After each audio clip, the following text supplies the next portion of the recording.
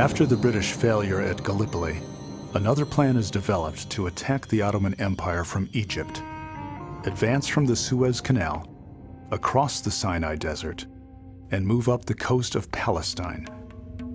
General Archibald Murray, commander of the Egyptian Expeditionary Force, begins a deliberate and well-supplied advance across the desert. Thousands of soldiers and Egyptian laborers are set to work building a foot-wide pipeline for water and building a railroad for supplies and reinforcements. The British have erected a complete system of defense to the east of the canal and are awaiting us there with a force many times superior to our small expeditionary force. The British, with an impregnable defense, now take the initiative in a great strategic maneuver designed for total victory. General Murray finally decides to advance across the Sinai and attack the enemy in Palestine. The Desert War has begun.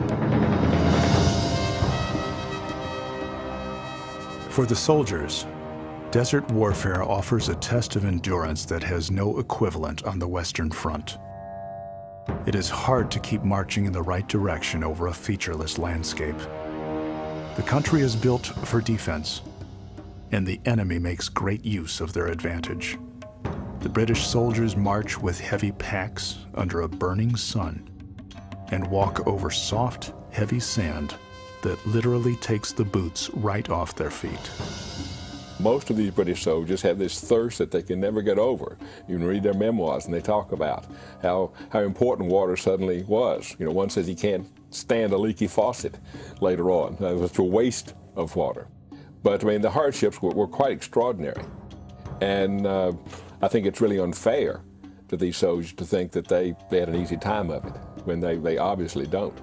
Now, they don't fight the same sort of artillery battles that you have on the Western Front. And quite frankly, you were more likely to survive the war if you were in this particular theater. But the physical hardships and the fact that you can't go home, uh, in some respects, balances all of this out. It takes six long months for the expeditionary force to move across the Sinai. The Ottoman Fourth Army has dug in on a strong defensive line running from Gaza by the sea to the town of Beersheba. General Murray sets his sights on Gaza and orders General Charles Dobell to capture the town and its precious water supply. Dobell has a massive number of troops at his disposal, including the mounted desert column. While it provides a strong and mobile force to use against the Turks, the desert column also creates the tremendous problem of 10,000 horses that also need water to survive. Water wells are in Gaza. If the British are to succeed, the town must be taken.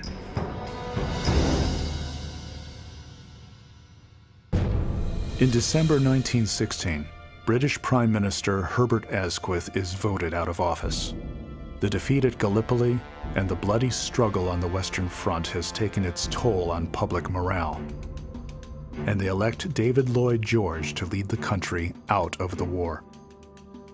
George has a strong distaste for all things Turkish. He makes the destruction of the Ottoman Empire a key objective in the war.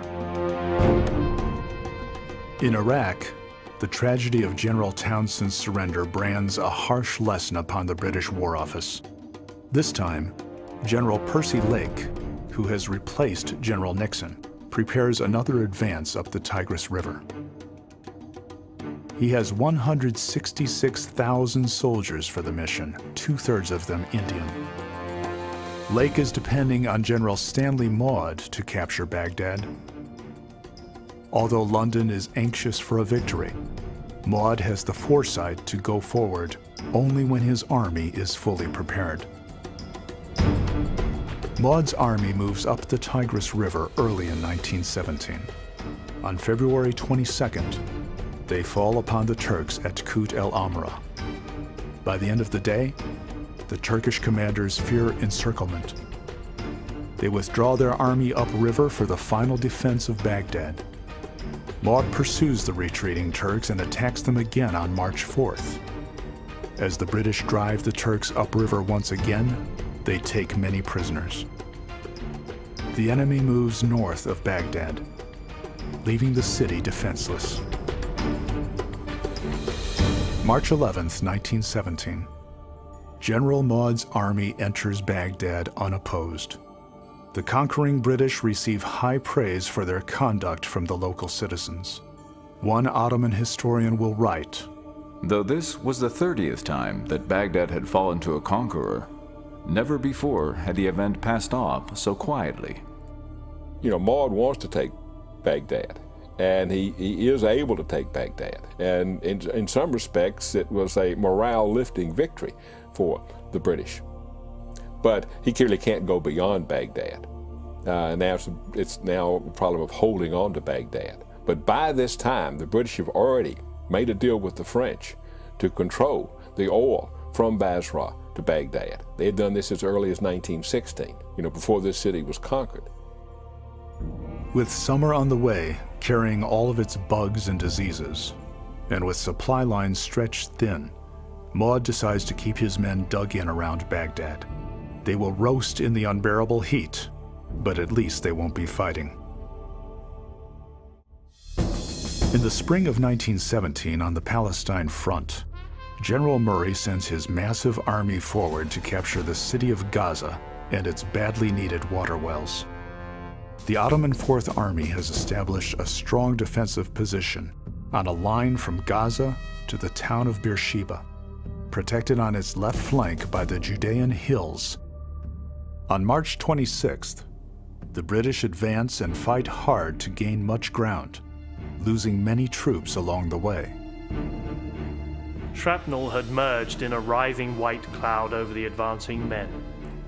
They plodded out of a haze of earth and smoke only to disappear into another barrage. Every yard must have seemed death to them.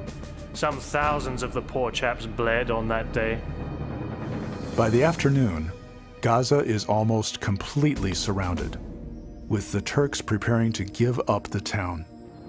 Suddenly, General Philip Chetwode, commanding cavalry of the Desert Column, fears that his men are being surrounded by the enemy and orders them to withdraw. Without the cavalry, the infantry becomes exposed to counterattack, so it too is ordered to fall back. The soldiers are bewildered. In the words of one division history, they considered they had captured Gaza and that they had been dragged, like a dog on a leash, from their prize. On April 17, 1917, General Murray strikes at Gaza for a second time. A single British infantry division advances across a two-mile front. The fighting goes on for three days, but one division isn't enough. And thousands of soldiers die trying to break the Turkish line. On making their final charge, the Turks stood up and received them with hand grenades, fleeing then to another line of trenches. Our poor chaps occupied the trench for a time, and then the Turks attacked with fixed bayonets, killing or capturing nearly every man. The only reason the Turks do not counterattack is because they are low on ammunition. In June, Murray is dismissed and replaced by General Edmund Allenby, fresh from the Western Front. Allenby is a large man with a bad temper. Behind his back, he is known as Bull Allenby. But he is also a professional in the trade of warfare and makes it clear to London that he will not move against the Gaza Beersheba line until he gets plenty of reinforcements. General Allenby, in many respects, is sort of a bundle of contradictions because he could be very severe at times. There's his famous incident when he dresses down a soldier for not wearing a helmet, only discovering to discover that he's talking to a corpse. Uh, but uh, he, does th- he does this in France. And he's really this hard driving commander with a reputation that was somewhat diminished. And, but when he comes to the, the Palestine front, uh, he's going to get a, a brand new uh, start. And he turns out to be a first rate commander because he's everywhere. Uh, in fact, his own men had a signal, the, the bloody bulls loose, when he was making his inspection tours. But he has this really close contact with his men.